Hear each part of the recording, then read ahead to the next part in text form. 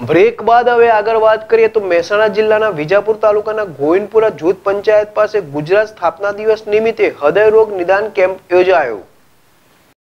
વિજાપુર ગોવિંદપુરા જૂથ પંચાયત ખાતે પ્રખ્યાત એપોલો હોસ્પિટલ અમદાવાદ ડોક્ટરોની ટીમના સહકારથી અને નિજાનંદ ગ્રુપ પ્રકૃતિ મંડળ મહેસાણા, વિજાપુર તથા ગાયત્રી ફાઉન્ડેશન સહિત જીએસઆરટીસી વિજાપુરના સહયોગથી એપોલો હોસ્પિટલના નિષ્ણાત ડોક્ટરોની ટીમ સાથે કૃણાલબેન ઠાકરના નેતૃત્વ હેઠળ વિના મૂલ્યે હૃદયરોગ નિદાન કેમ્પ યોજાયો હતો, જેમાં એકસો સાડત્રીસથી વધુ લાભાર્થીઓએ આ કેમ્પનો લાભ લીધો.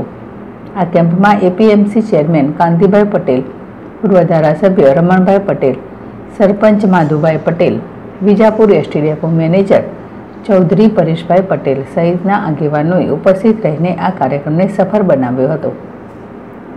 સૈયદજી બુખારી છે ડિસ્ટ્રિક્ટ વી વિજાપુર.